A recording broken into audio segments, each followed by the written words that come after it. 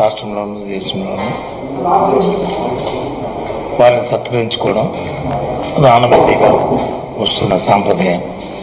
గురుదేవోభవ అనే నాడుతో మనందరం కూడా తల్లిదండ్రులతో సమానంగా గురువులను కూడా పూజించుకునే సంస్కృతి సాంప్రదాయం మాకుంది.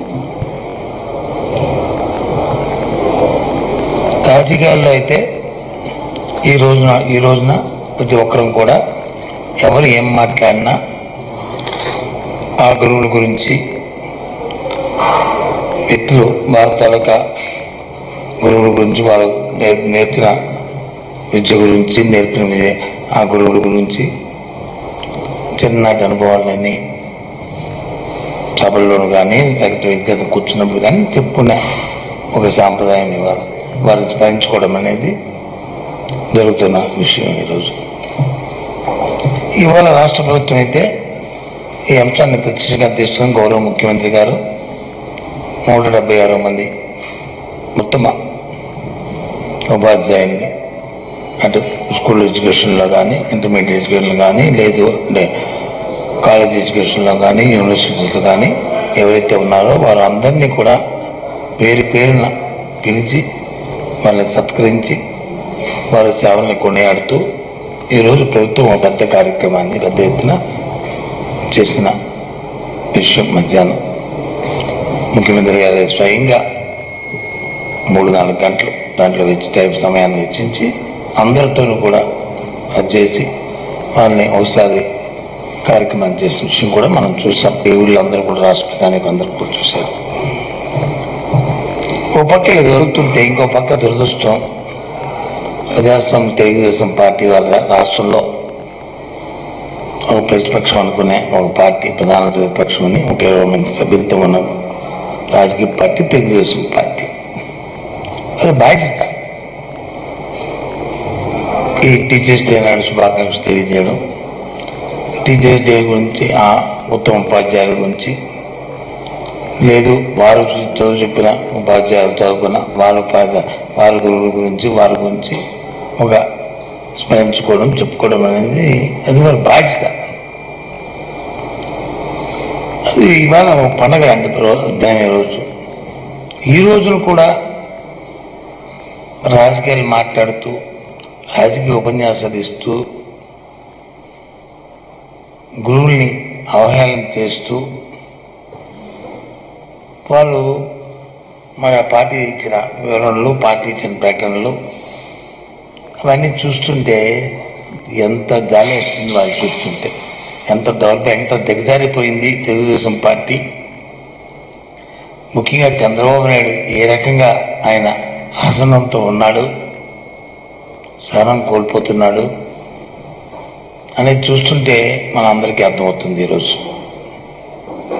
నేను చూశాను ఇందాక ప్రోగ్రామ్ అంతా అయిన తర్వాత బయటకు వచ్చి ఇంటికి వెళ్తున్నప్పుడు నాకు వాట్సాప్లో ఒక మెసేజ్ వచ్చినాయి జగన్ దృష్టిలో సరైన గురువులు అని ఒక ఫోటోలు కింద వచ్చి ఏవేవో రైటప్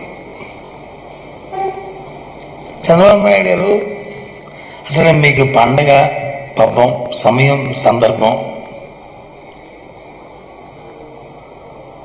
వ్యక్తులు వ్యక్తిత్వాలు అసలు మీకు అసలు అవేవి పట్టనట్టుగా ఉన్నాయి. ఎంతసేపు తెల్లవారులేస్తే నీ మొత్తం నీ బతుకంతా నీ శరీరం అంతా రాజకీయం రాజకీయ దీంతోనే మానవత్వాలు లేవు.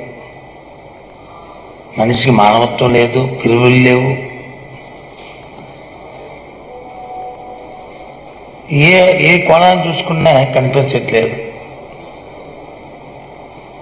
నిజంగా వారి వారు చేసిన ప్రక్రియ పూర్తిగా కూడా నేను అంత నిర్ద్వందంగా ఖండిస్తున్నాను. ఈ దురదృష్టకరమైన పరిణామం ఇవాళ తెలుగుదేశం పార్టీది ఇవాళ చేసిన ప్రక్రియ. ఎందుకంటే ఇవాళ సెప్టెంబర్ ఐదవ తారీఖు నాడు ఆయనకు వచ్చి ఈ ఈ తేదీ ఆయనకి ఇది ఇష్టపడిన రోజు కాదు. గురువుల్ని పూజించుకోవడం గురువుల్ని చేయడం ఈ రోజు ఆయనకి అది హాస్పిటల్ డే కాదు. ఆయనకి ఏదంటే ఒకటో తారీఖు అయితే ఆయనకి బాగా లైకింగ్ ఎందుకంటే అది స్టేటస్ అది వెన్నుపోటు పడుతున్న రోజు. ఎన్టీ రామారావు గారిని వెన్నుపోటు పొడిచి సెప్టెంబర్ ఒకటో తేదీ నాడు ఆయన అధికారంలోకి వచ్చిన రోజు అది. ఆ తేదీ అంటే మాత్రం ఇది బాగా బాగా మక్కువ. అది చీటర్స్ చీటింగ్ ఎవరైతే ఫోర్ ట్వంటీ ఎవరైతే చీటర్స్ చేస్తా ఆ డే అది. September road. అది అదే ఆయనకి మక్కువ. ఆ రోజు నాడు మాట్లాడు చేసేస్తే నువ్వు నీ చిట్టింగ్లు నీ వ్యక్తిగతమైన పనులు నీ వ్యవహారాలు అన్నీ ఆ రోజు మాట్లాడుకుంటే తప్పు కాదు. కానీ ఈరోజు ఏంటి? ఏం పెట్టాడు? జగన్ గారి దృష్టిలో అంట క్రిస్టియన్ గురువు లేని ఒక ఏడు ఫోటోలు పెట్టాడు.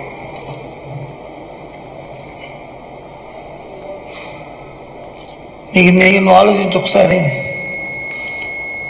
నీ రాజకీయ జీవితంలో నువ్వు ఇంటి రామారావు గారికి వెన్నుపోటు పొడిచినప్పుడు నీతో పాటు ఉన్నవాళ్ళు నీతో సహచరులు లేదు నీకు ఇలాంటి బుద్ధులు నేర్పిన వాళ్ళు వాళ్ళు నీకు గురువులు. ఈయనపోటికి నా ఆజ్యం పోసిన రామోజీరావు కానీ ఆ పక్కనే మే- సు- శుతిమత్తిని చేస్తున్న రాధాకృష్ణ గారు కానీ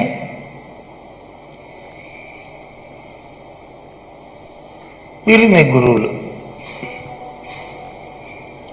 ఇనిపొడిగా లేదు దానికి ఒత్తాస్పరికి ఉండేది లేదు లేదు పడిగిన నీ సహచరుడు మన యనమల రామకృష్ణుడు కానీ వాళ్ళు. అవునా కదా చెప్పు?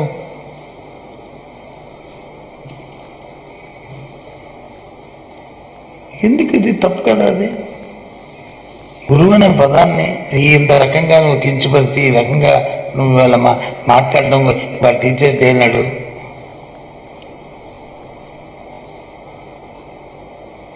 ఏంటి ఆ సంస్కృతి? లేదంటే ఈ పార్టీలో ఉండి ఇంకో పార్టీలో ఏజెంట్గా పెట్టుకున్న నేను